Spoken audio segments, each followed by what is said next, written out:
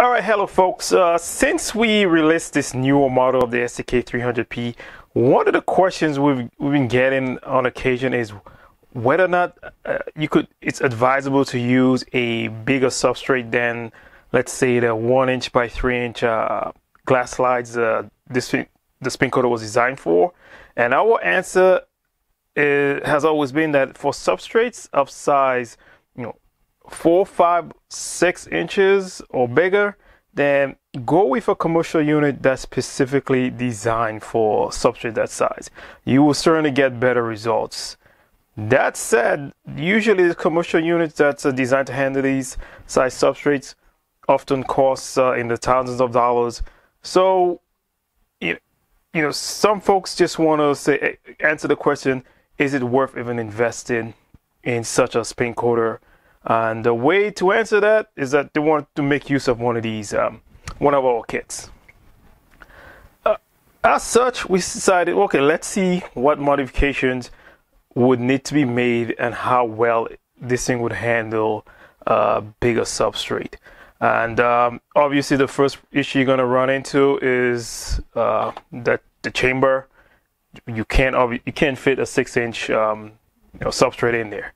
That's relatively easy to uh, easy to fix. However, um, all you really got to do is get one of these um, disposable or meal prep food bowls. Uh, this one is from Rubbermaid, and um, you know replace this one with that, which is really easy because these are uh, you could you could cut the holes out uh, relatively easy if you, if you have access to a machine shop.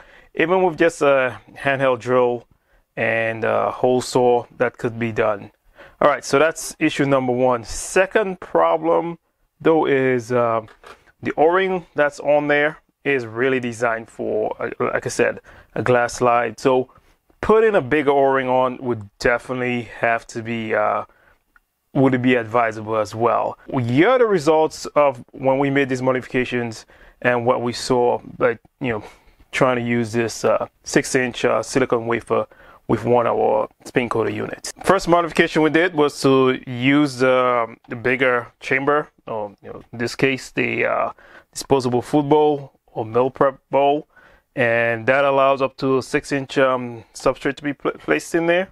And the good thing about these um, meal prep bowls is that you know you get a nice handy cover that snaps closed really tight.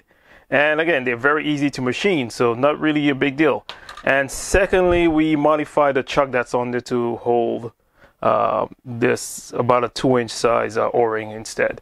And let's give it a spin and see what the issues are when you try to use big, a bigger substrate. So first challenge with these big substrates on this is just the fact disaligning it. Uh, again, if you have a commercial unit designed for this size substrates, you will get special tools to help you align it. And aligning this uh, size is very important because if you don't align it um, correctly, like really center it, you're gonna get a lot of vibration. Okay, that alignment looks uh, to be as best as uh, I want to get it today. turn the vacuum on. It's uh, on there pretty tight. And let's uh, just set it to, let's see, 1300 and see what happens. Now pay attention to the RPM. And one of the things with using these big samples is that the motor in there uh, doesn't really have sufficient uh, torque to really get to the set speed quickly. So again, if that's not an if if you don't really care about that and you just want to get up to speed and coat, that's fine. But again, the quality of the films may depend on that. And another thing again is the uh, top speed. Uh, we would definitely not recommend going above. Uh, I would say you know 3,000. I mean, you can hear you can hear the vibration now, right? obviously it's possible to use these uh, larger size substrates with these uh, minor modifications however if you know you're going to need these big substrates for to produce high quality films or storing in a production system then we would uh, definitely recommend getting a commercial unit built for this size substrate if you just want to establish proof of concept and to see whether or not it's worth moving on to get a, a commercial spin coater, then yes, you may consider it.